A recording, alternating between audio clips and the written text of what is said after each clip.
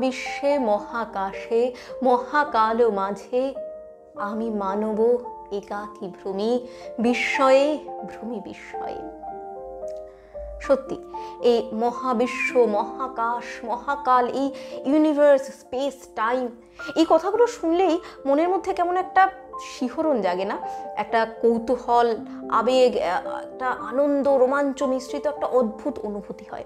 এবং ভেবে দেখুন, যখন এই সমস্ত ভারী ভারী শব্দগুলোর সাথে আপনারা পরিচিত ছিলেন না, তখনও খুব ছোট্টবেলায়, আমার তো মনে আছে আমরা যারা গ্রাম বা মফস্বল থেকে আমরা বড় হয়েছি, আমাদের ছোটবেলায় মনে আছে মাঝে মাঝে লোডশেডিং হয়ে যেত, আর তখন কিন্তু এত ঘরে ঘরে জেনারেটার ইনভার্টার এসবের প্রচলন ছিল না।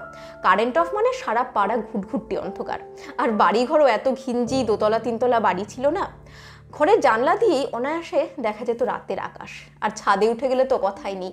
সেই তারায় ভরা রাতের আকাশ দেখে যখন আর কিচ্ছু জানতাম না, কিন্তু শুধুমাত্র ওই দেখা, সেই যে তারাদের হাতছানি, সেটা দেখেই মনের মধ্যে অসংখ্য প্রশ্ন আসতো। অনেক বিজ্ঞানী বা অনেক বিজ্ঞান সাংবাদিক, তারা কলম ধরেছেন পপুলার সায়েন্সের প্রচুর বই লেখা হয়েছে।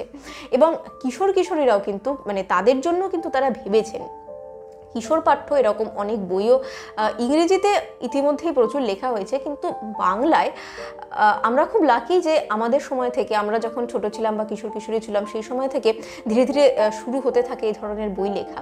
এবং সেরকমই একটা বইয়ের কথা আজকে বলব। আমার খুব প্রিয় একটা বই, বইয়ের নাম বিশ্বজীবনী, লেখক বিশ্ববরেণ্য বিজ্ঞানী ডক্টর মনিলাল ভৌমিক। তো চলুন জেনে নিই আজকে বিশ্বজীবনী বইটা কেন পড়ব। চলে যাই বইয়ের বিষয়বস্তুতে।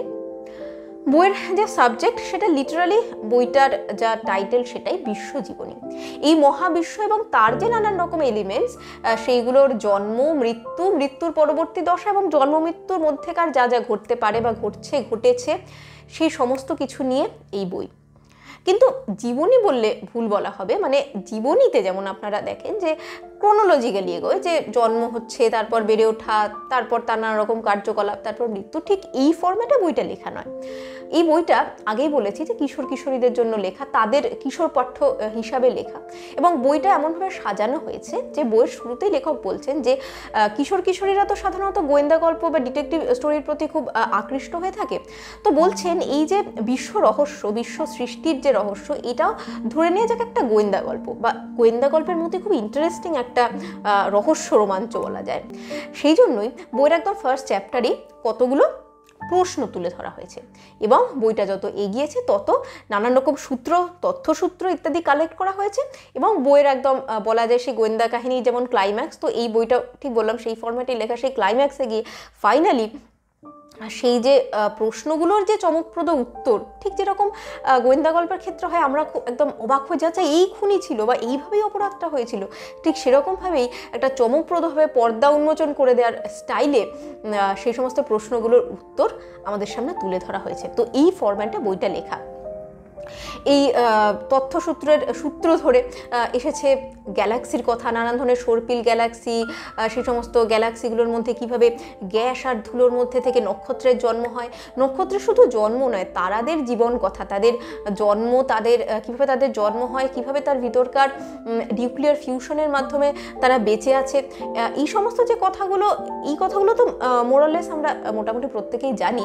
কিন্তু সব থেকে ইন্টারেস্টিং আমার যেটা লেগেছে, সেটা হলো তারাদের মৃত্যুর জায়গাটা। একটা তারা, তার বা নক্ষত্র তার সাইজ অনুযায়ী সে কীভাবে তার মৃত্যুটা হবে সেটা ঠিক হয়। আমাদের সূর্যের মতন ছোট বা মাঝারি তারা তাদের মৃত্যু হয় নিঃশব্দে। আর যারা আরও বড়, তারা একটা বিস্ফোরণে চুরমার হয়ে গিয়ে সুপারনোভার মধ্যে দিয়ে তাদের মৃত্যু হয়। এবং এই যে তারকার মৃত্যু, এই প্রসেসের মধ্যে দিয়ে কীভাবে কেস টু কেস বেসিসে জন্ম নেয় red giant black dwarf white dwarf quasar neutron star অথবা ব্ল্যাক হোল তারপর এসেছে সৌরজগতের কথা। আমাদের এই সৌরজগতের সূর্য, পৃথিবী সমস্ত প্রত্যেকটা যে গ্রহ, বামন গ্রহ, উপগ্রহ এবং আরও অন্যান্য যে সদস্য তার কী করে সৃষ্টি হলো, তাদের যে বিভিন্ন বৈশিষ্ট্য এবং আরও বিভিন্ন দিক সম্পর্কে খুব সুন্দর করে একদম গল্পের মতন আলোচনা করা হয়েছে। এবং তারপর ধীরে ধীরে সেই গল্পের সে যেটা বললাম ক্লাইম্যাক্সে গিয়ে যে এমন এমন সমস্ত চমৎকার, অভাবনীয় সমস্ত বৈজ্ঞানিক আবিষ্কারের কথা বলা হয়েছে, যেটা কোনো অংশেই কোনো গোয়েন্দা গল্পের থেকে কম নয়। খুব সংক্ষেপে আমি এক্ষেত্রে কয়েকটা পয়েন্ট উল্লেখ করব। প্রথমটা হলো এক্সপ্যান্ডিং ইউনিভার্স আমাদের এই যে বিশ্ব ব্রহ্মাণ্ড বা ইউনিভার্স আগে ধারণা ছিল যে এটা স্থির।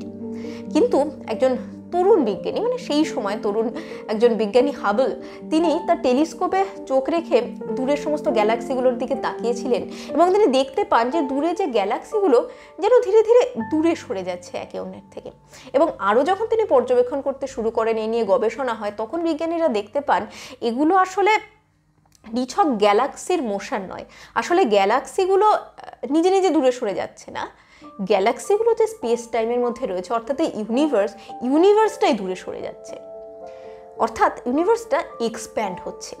এবং সেই কথার সূত্র ধরেই, সেই ধারণার সূত্র ধরেই বিজ্ঞানীরা এই ধারণায় আসেন। এবং আপনিও খুব একটু মাথা ঠান্ডা করে ভাবলে সেই ধারণাতে আপনিও আসবেন সেই সিদ্ধান্তে যে একটা জিনিস এক্সপ্যান্ড হয়। ছোট থেকেই তো বড় হয়। এক্সপ্যান্ড হয় মানে সে কোনো না কোনো সময় ছোট ছিল। গ্যালাক্সিগুলো একে অপরের থেকে দূরে সরিয়ে যাচ্ছে। তার মানে তারা একটা সময় কাছে ছিল। এখন এই গ্যালাক্সিগুলো এই ম্যাসিভ যে পরিমাণ ম্যাটার এনার্জি সেগুলোকে কাছে আনতে আনতে আনতে আনতে আনতে আনতে একদম একটা পয়েন্টের মতন জায়গায় যদি নিয়ে আসা যায় তাহলে বিজ্ঞানীরা অঙ্ক কোষে দেখিয়েছেন সেগুলো পৌঁছে যায় সিঙ্গুলারিটিতে এটা একটা ম্যাথামেটিক্যাল টার্ম সিঙ্গুলারিটি যে পয়েন্টে এসে আমাদের চেনা বিশ্ব ব্রহ্মাণ্ডের ফিজিক্সের যে সমস্ত সূত্র, সেগুলো আর খাটে না। সেখানে কোয়ান্টাম ফিজিক্সের বিভিন্ন সূত্রাবলী প্রযোজ্য হতে থাকে, যেগুলো প্রচণ্ড মানে চমকপ্রদ এবং ইন্টারেস্টিং এবং প্রায় অবিশ্বাস্য। তো এইরকম একটা সিঙ্গুলারিটি পজিশনে পৌঁছায়, এরকম ছোট হতে হতে হতে হতে এমন একটা পজিশনে পৌঁছায় যে সে সময় প্রভূত এনার্জি একদম মানে বেসিক্যালি সমস্ত ম্যাটার ধ্বংস হয়ে গিয়ে একদম পিওর এনার্জি সেক্ষেত্রে জেনারেট হয় এবং সেই যে ঘটনাটা হয় সেটা একটা এক্সপ্লোশনের মতো, একদম সুপার এক্সপ্লোশনের মতন, যেটাকে বলা হচ্ছে বিগ ব্যাং এবং এই বিগ ব্যাংয়ের মাধ্যমেই, এই একটা মহা বিস্ফোরণের মাধ্যমেই আসলে এই ইউনিভার্স সৃষ্টি হয়েছিল। প্রথমে এটা ছিল শুধুই থিওরি, কিন্তু ধীরে ধীরে বিভিন্ন রকম বৈজ্ঞানিক গবেষণার মাধ্যমে মানে প্র্যাকটিক্যাল কিছু কিছু এমন আবিষ্কার হয়, সেগুলোর মাধ্যমে ধীরে ধীরে দেখা যাচ্ছে, যত দিন যাচ্ছে, যে এই বিগ ব্যাংয়ের থিওরিটাই কিন্তু ঠিক। তার মধ্যে আমি দুটো আবিষ্কারের কথা উল্লেখ করব। একটা যেটা, সেটা হলো আমাদের যে কোনো একটা বিস্ফোরণ যদি হয়, তার বিস্ফোরণের তো একটা আফটার মাথ থাকে, একটা আফটার ওয়েভ থাকে। তো এরকম যদি একটা বিশাল বিগ ব্যাং এরকম একটা বিস্ফোরণ ঘটেছিল, তাহলে তারও একটা আফটার ওয়েভ থাকা উচিত বা আফটার গ্লো থাকা উচিত একটা এনার্জি সেই এনার্জিটা দুই বিজ্ঞানী তারা বেল ল্যাবে তাদের হর্ন অ্যান্টেনায় একটা হিসিং সাউন্ড পান। প্রথমে তারা ভাবেন যে এটা একটা ব্যাকগ্রাউন্ড নয়েজ কিন্তু ধীরে ধীরে তারা দেখতে পান যে এটা তো সব সময় আসছে। এটা কোনো রকম এটার কোনো ভ্যারিয়েশন নেই, দিন নেই, রাত নেই এবং বিশ্ব ব্রহ্মাণ্ডের প্রত্যেকটা কণা থেকে সমানভাবে এই হিসিং সাউন্ডটা আসছে। এবং তারা যত এটা খতিয়ে দেখতে থাকেন এবং গবেষণা করতে থাকেন, তারা দেখেন তো এই যে হিসিং সাউন্ড এটাই সেই বিগ ব্যাং সেটার আফটার গ্লো মানে আমার আপনার মতো মানুষও কিন্তু আমরা এটা খুব সহজেই দেখতে পাই। কীভাবে? টিভি খুলুন।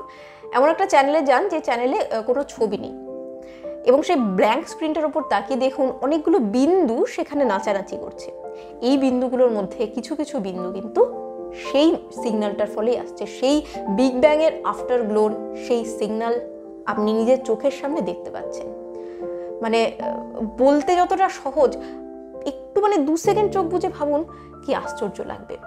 আর তারপরে যে আবিষ্কারটার কথা বলব বলেছিলাম, দুটো আবিষ্কারের কথা বলব, সেটা তো আরোই চমকপ্রদ।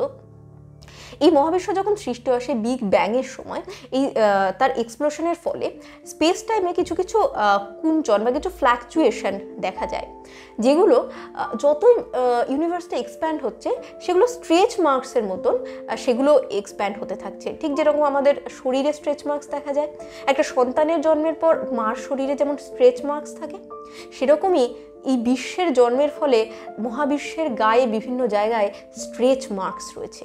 এবং এই স্ট্রেচ মার্কসও কিন্তু প্র্যাকটিক্যাল প্রমাণ পাওয়া গেছে। কবি স্যাটেলাইট দ্বারা প্রাপ্ত বিভিন্ন তথ্যের মাধ্যমে। মহাবিশ্বে তার সেই জন্মের স্ট্রেচ মার্কস পাওয়া গেছে, যাকে এখনকার বিজ্ঞানীরা বলছেন the handwriting of God Stephen Hawking বলেছেন এই আবিষ্কারটা এই সেঞ্চুরির মানে সব থেকে চমকপ্রদ এবং সব থেকে সেরা বৈজ্ঞানিক আবিষ্কার if not for all time তাই বিষয়বস্তু এই অবধি।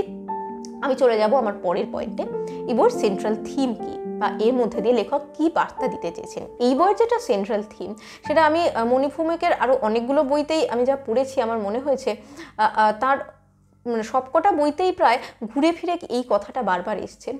সেটা হলো আমাদের চেতনার কথা।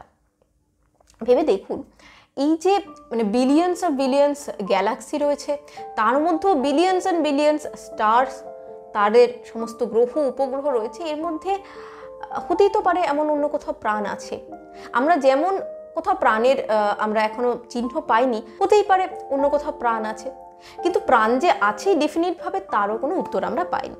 অর্থাৎ এখন এখন আমরা যা জানি, তার মানে তার দ্বারা আমরা এই সিদ্ধান্তে আসতে পারি যে whatever maybe the probability এখন অবধি আমরাই একমাত্র প্রাণ। যে জিনিসটা আমরা অতটা তলিয়ে ভাবিনি, সেটা প্রাণের থেকেও আশ্চর্য বিষয়, সেটা হলো আমাদের মন আছে, আমাদের বোধ, বুদ্ধি, চেতনা আছে। যে চেতনা দিয়ে আমরা এই মহাবিশ্বকে জানতে বা বুঝতে চেষ্টা করি এবং ফাইনালি জানতে বা বুঝতে পারি। আইনস্টাইনের একটা বিখ্যাত উক্তি আছে, যেটা এই বইতেও উল্লেখ করা হয়েছে যে the most incomprehensible thing about the universe is that it's comprehensible সত্যি তো, এমন তো হতেই পারতো যে আমাদের জন্ম হতো না, বিশ্বব্রহ্মাণ্ডে প্রাণের সৃষ্টি হতো না, অথবা হলেও তার মধ্যে হয়তো চেতনার সৃষ্টি হতো না। চেতনার যদি বা সৃষ্টি হলো, সেই চেতনা তো এমনই হতে পারতো, বিশ্বব্রহ্মাণ্ড হয়ে থাকতো, এমন একটা দুর্গেয়, অজ্ঞেয় একটা ব্যাপার যে আমাদের বোধবুদ্ধির, চিন্তাভাবনার ওপর দিয়ে বেরিয়ে যেত। কিন্তু তা তো নয়। আমরা যেমন প্রশ্ন করছি, তার উত্তর পাচ্ছি। আমরা বুঝতে চেষ্টা করছি এবং বুঝতে পারছি। মহাবিশ্ব আমাদের বোধগম্য এবং সেইটা বোঝার মতন বোধ আমাদের রয়েছে। এটা কি নেহাত কাকতালীয়? ওই যে বলছিলাম, সিঙ্গুলারিটির কথা। যখন এই বিশ্বব্রহ্মাণ্ড সৃষ্টি হয়েছিল, বিগ ব্যাং এর মধ্য দিয়ে, সে বলছিলাম না, আমাদের চেনা সূত্রগুলো খাটে না? কোয়ান্টাম ফিজিক্সের সূত্র খাটে এবং কোয়ান্টাম ফিজিক্স সম্পর্কে যাদের সামান্যতম ধারণাও আছে, তারাও জানেন ইটস ফুল অফ প্রবাবিলিটিস তো সেই মুহূর্তে দাঁড়িয়ে এই বিশ্বটা কীভাবে সৃষ্টি হতে পারতো, তার অনেকগুলো প্রবাবিলিটি ছিল। কিন্তু তার মধ্যে আমরা এখন যে বিশ্বটা দেখছি, সেইটাই সৃষ্টি হয়েছে। আমরা কি তাহলে এই ইউনিভার্সের একটা অপরিহার্য অঙ্গ নয়? আমাদের যে উদ্ভব হয়েছে, আমাদের যে কনসিয়াসনেসের উদ্ভব হয়েছে এইটা কি সে একটা গ্র্যান্ড একটা ছক একটা গ্র্যান্ড প্ল্যান মাস্টার প্ল্যানের একটা অংশ নয়? তো এইটাই এই বইয়ের সেন্ট্রাল থিম আমি চলে যাব পরের পয়েন্টে এই বইটা আমার কেন ভালো লেগেছে? প্রথমত এই যে এমন একটা কঠিন বিষয়বস্তু, সেটার ওপর শুধু যে সাধারণ মানুষের বোঝার মতন করে লেখা তাই নয়, বাংলা ভাষায় এরকম একটা বই লেখা। লেখক তো বহুদিন ধরে আমেরিকায় প্রবাসী, তিনি তার কোডনেম পর প্রথম বইটা তিনি ইংরেজিতেই লিখেছেন। পরবর্তীকালে সেটা বাংলায় অনুবাদ হয়েছে ঠিকই।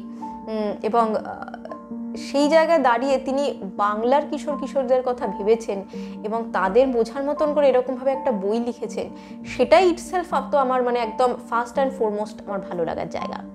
তারপর যেটা বইয়ের ভাষা বইয়ের ভাষা যে শুধু সহজবোধ্য সেটাই নয়, বইটাকে একদম বললাম না একদম প্রথমেই, এমন ফরম্যাটে সাজানো হয়েছে যে কিশোর কিশোরীদের সাথে কথোপকথনের মধ্যে দিয়ে তাদের প্রতি জিনিসটাকে আরও ইন্টারেস্টিং কত রকমভাবে করে তোলা যায় সেরকম প্রচেষ্টাই বইতে করা হয়েছে এবং সেটা অবশ্যই সাকসেসফুল তারপর এটা আমি খুব কম বইতেই পেয়েছি বিজ্ঞানের যে বইগুলোতে। আমরা জানি যে যখন আমরা কোয়ান্টাম জগতের সম্পর্কে আলোচনা করি, সেক্ষেত্রে খুব ছোট ইউনিটস ব্যবহার করা হয়, ফার্মি বা ন্যানো এরকম লেভেলে বা আমরা যখন মহাবিশ্ব সম্পর্কে আলোচনা করি আমরা যখন অ্যাস্ট্রোফিজিক্স ইত্যাদি সম্পর্কে আলোচনা করি, তখন খুব বড় ইউনিট মিলিয়ন ট্রিলিয়ন বিলিয়ন অথবা লাইট ইয়ার্স এই সমস্তগুলো ব্যবহার করি।